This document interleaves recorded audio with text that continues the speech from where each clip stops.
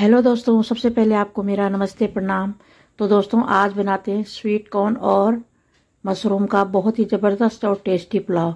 तो दोस्तों, चैनल में नहीं है तो चैनल को सब्सक्राइब ज़रूर कर दीजिए और अगर आपको वीडियो पसंद आई, रेसिपी पसंद आए तो एक लाइक ज़रूर कर देना।